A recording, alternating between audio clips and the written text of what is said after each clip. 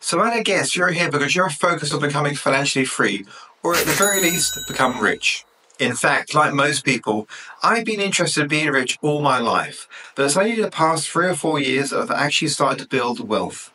Now, I've always worked hard. I'm a self confessed workaholic. But what did I do wrong for the previous 30 years? I had no money. But more importantly, what have I been doing differently the past three or four years? Well, in a nutshell, I've changed all my habits around money and replaced them with new ones that I have learned from rich or successful people. But I didn't just change them, I completely reset my thinking around money and put systems in place to do the heavy lifting. After all, like you, my life is already very busy.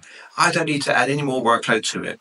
So here they are, my eight money mistakes that I replaced with good financial habits. Each one of them was a ticking time bomb on my finances, particularly the last two. They clean me out every single month. In hindsight, it's no wonder I didn't get anywhere with my finances. Okay, let's get into it. And the first one is one we can all relate to living above your means. So, the first way I was losing money each month is because I was spending it all. I didn't save any of my salary. I certainly didn't invest it. I didn't even know what investing was. I basically paid everybody else first, and I didn't pay myself. Now, we'll go into this in more detail in chapter 3, but fundamentally, I wasn't living below my means. I was spending more than I was earning. And I found if you're spending everything that you earn, it's very hard to break that cycle. For example, living expenses rarely go down, they only go up. So if you're spending more than you're earning, you're eventually going to creep more and more into debt, and that's going to cause you big financial problems. So you need to make changes. And living below your means literally asks you to spend less than you earn. It's like weight loss. We can give all the reasons why the weight isn't shifting, but in most cases, for most of us, it's literally calories in, calories out. And it's the same with your salary. You literally have to spend less than you earn to live below your means. Less living costs, less travel, and less shopping costs. Change your financial habits to change your outgoings. It's that simple. And if you can get your living expenses and all your financial responsibilities down to 90% of your salary, you are doing awesome. Cutting back, the scarcity mindset. Now, living below your means is an excellent financial habit that most people should adopt.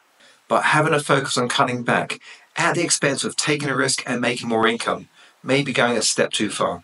By adopting a scarcity mindset and working on saving a few dollars here and there, I would argue it's better to take a calculated risk to increase your income. Instead of spending some of my time to do some low cost labor to save a few dollars, I can invest that time to an online business or giving high skill lessons to people that need it. So if you can earn 40 to $80, why would you do a task that would only cost you 20 to $30? The scarcity mindset is when you believe that there are limited resources to work with. As Mitsui states in his 2022 report, the scarcity mindset drives behaviors focused on hoarding, competition, and self preservation.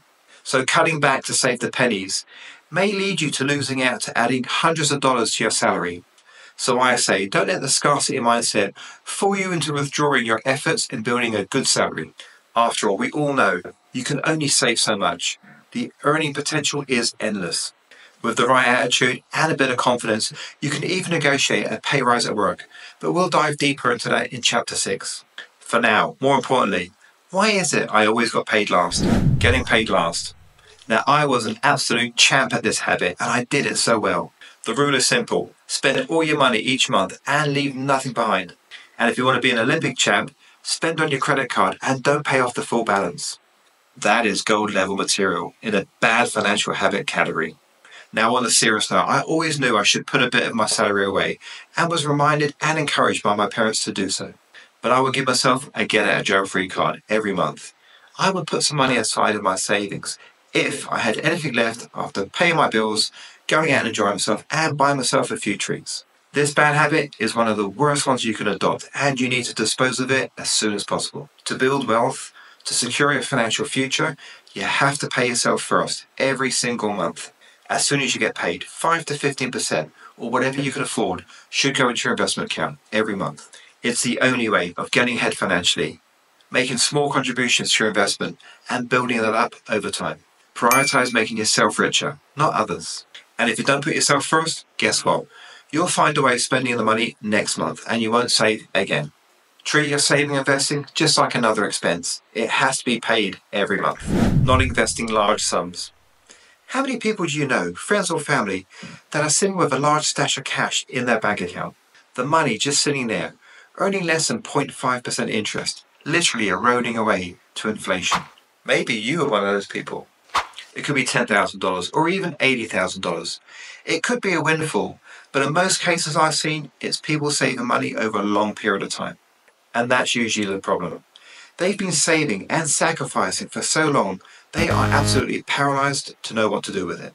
They are looking for the best place to invest it, with the least risk and the best return. And because of that, their paralysis has caused zero action. So the money sits there, unfulfilled and wasting away to inflation. But in order to grow the money, and it's there to be grown, it has to be put into circulation and invested. Now, as part of our property portfolio, we regularly borrow money from our investors to invest in our properties and to renovate them. It's a win-win situation. They get a great return and we get all the capital that we need. And that's the beauty of investment. They can be short-term or long-term, depending on your goals. The money can be invested into a business, on low-cost index funds on the stock market, or even GICs. Whatever the vehicle, the cash needs to be put into an investment and work for you, not languishing in a bank account. And in my humble opinion, bank accounts are the worst, as we're going to find out in the next chapter. Bank accounts. Okay, first of all, nobody should be paying for their bank account. I don't know why this is a thing, or accepted by millions of people. The bank is literally taking your deposits, lending out to make money, and charging you a fee for the pleasure. Second of all, the charges. Banks make a fortune from us. They are literally taking money out of your pocket. Overdraft fees, ATM fees, annual fees, even paperwork fees. I ordered a paper statement from the teller and I was charged $6.50. My suggestion? Move to an online bank. There are dozens of them these days, and most of them have little or no fees at all. They have better interest earned on money in your account and better credit card rates. Now, the problem here is traditional banks, with their fees and charges, know people very well. They know people don't like change and they don't want extra work. Moving to another bank, an online bank, seems like too much hassle for the average person. The banks know we complain, but in the end, most of us stay put. So do yourself a favor and do your money a favor and find a better deal.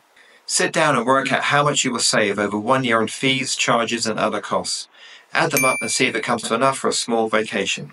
Then treat yourself every year as a reward for making all those savings. So go get your money. It's yours, not the bank's. Not asking for a pay rise. When is the last time you asked for a pay rise? And I'm not referring to that microscopic one hidden under your performance review. I mean a proper pay rise, a substantial one. If it's been a while, this is something you need to look into. Now I know, it can be a difficult thing and maybe a bit uncomfortable, but it doesn't need to be. We can choose it to be a necessity, a challenge that will lead to a substantial cash reward you can compile the evidence as to why you've earned the pay rise and the extra value you will bring to the table going forward. Detail how much of an asset you are and the experience you bring. I've found over the years that people will complain about their job and complain about their place of work, but they will rarely ask for a pay rise or try and move themselves forward. Now, if you took the time to put together the evidence and pose the question, they can only say yes or no.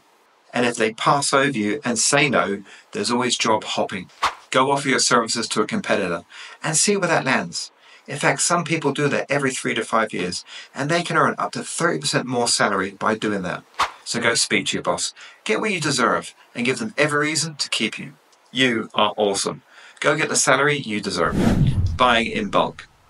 If you're a contractor like me, you know the financial benefit of buying things in bulk. We get a nice discount on plywood, on drywall, on paint when we purchase in volume. We save money and it's substantial, and it brings that cost per item right down. The same goes for food and groceries. We love saving money and buy things in bulk, but we don't buy everything in bulk. For example, I will buy chicken breast by the dozen. I can freeze some for later and enjoy that great item price for weeks to come. But that won't work for items like milk. I would also limit the bulk buys and spread the costs over the year, not all at once. I have a set budget each month to buy things, so blowing it all on a year's supply of toilet roll doesn't make sense. Now, for much of our grocery list, we'll hit Walmart or Costco for those big bulk items. For fruit and veg, we tend to get high quality, but we'll always source the best price. We will also enjoy seasonal fruit and veg as they're usually a great bulk price, like corn and apples. And avoiding those big brand names usually pushes the value even more. Now, as a growing family of five, we get through a lot of food. We all have packed lunches, snacks, treats, and hot drinks, all prepared at home. Now, obviously, we have dinner at home too. And if my wife and I go to the gym, we'll have another meal late at night. Now, almost all of this food is fresh, wholesome, good for you food. We eat good and healthy food every single day. It's not expensive and it provides our bodies with all the nutrients and goodness they need. Now, we do have to spend time planning and chopping, cooking and preparing, but it is so worth it. We save a lot of money on food and we get to eat healthy food that our bodies need. This is a solid investment. Turning a blind eye. Of course, something we are almost all guilty of is turning a blind eye to our bad finances and our bad habits. I mean, who wants to tackle money issues? They are stressful and add nothing to our life but worry. It could be all those bank fees eating up our money each month. Or it could be the credit card bill that's building every month because we're only paying the minimum balance. Life gets busy. And it seems every month something else comes up. So what do we do? We turn a blind eye. We kick the can of our finances down the road to deal with another day. But the thing is, that day never comes. And our money problems don't get tackled. We avoid the discomfort of dealing with them, and this prolongs the long term worry and stress, as well as building more debt upon debt in the way of interest charges and fees. So we need new habits to stop us from turning a blind eye and be more responsible with these tasks. So my suggestion is do a monthly planner and spread these tasks out so you're only doing one or two tasks every other day. Lessen that feeling of dread and associate a small reward when you complete the task. Maybe a good quality coffee or a chocolate bar, and set up some alerts on your phone to remind you to do the tasks. Don't let bad financial habits make you feel overwhelmed and stressed. It's time to take back some control with some good, solid habits. It will feel strange at first, but I promise you, you'll feel better for it and it will improve your life. Thank you so much for watching today. I appreciate you. If you found some value in today's video, perhaps give me a thumbs up and subscribe below. I've got more videos coming down the line and I don't want you to miss any of them. In the meantime, I've got a great video here on why rich people dress down and dress boring. I'll see you there.